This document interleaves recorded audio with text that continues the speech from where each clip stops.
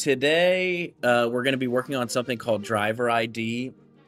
And um, really, uh, if you're new to this channel, so this channel is really about uh, vibe coding.